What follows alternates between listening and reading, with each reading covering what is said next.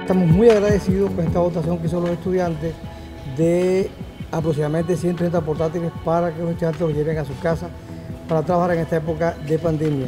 Bueno, me dio un poco de emoción, me da gusto porque ahí puedo hacer las clases para entregárselas a cada profesor los talleres. Cuando me llegó la noticia, yo me contenté, yo me alegré, yo me siento contenta, me siento alegre y me siento agradecida con la ministra y con todos ustedes y el colegio de haber hecho eso conmigo. Estos computadores nos permiten desarrollar actividades con nuestros estudiantes porque se nos facilita eh, enviarles material eh, asincrónico para que ellos puedan facilitar y tener su material al instante. Hoy desde la tierra del Nobel Gabriel García Márquez, Aracataca, Magdalena, nos sentimos complacidos porque recogemos los testimonios de niños, niñas, jóvenes y adolescentes y se encuentran contentos por estas ayudas y estas herramientas tecnológicas que les han llegado a su casa.